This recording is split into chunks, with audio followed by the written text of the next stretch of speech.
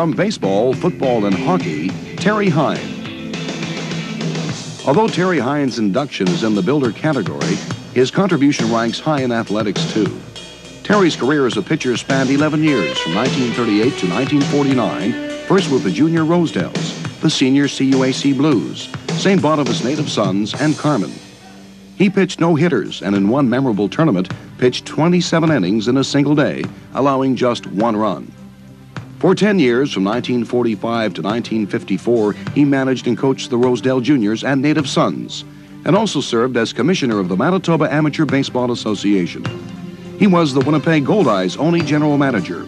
He was there when the Northern League franchise was born in 1954 and was still serving in that capacity when the league folded in 1965. And when the Winnipeg Whips made a brief stopover in Winnipeg in 1970-71, Terry served as that franchise GM too.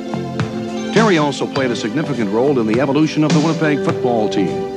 He joined the Blue Bombers as business manager in 1965 and served as the team's general manager in 1967 and promotion manager in 1968 and 1969. Hockey was another of Terry Hind's interests, and his managerial talents touched the Winnipeg Monarchs juveniles before a 12-year stint as the manager and president of the Winnipeg Senior Monarchs. A proud moment came in 1964 when the Monarchs won the Allen Cup, emblematic of senior hockey supremacy in Canada.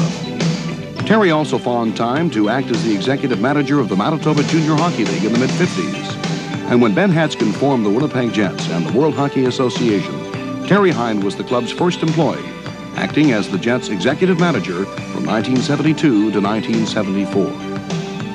And Terry's 47 years of involvement as a builder are not over yet.